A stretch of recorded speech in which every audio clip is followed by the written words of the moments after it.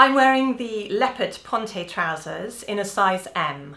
I'm somewhere between a 12 and a 14 and I'm five foot nine. So they're nice and long and I've managed to pair them with a pair of heely boots.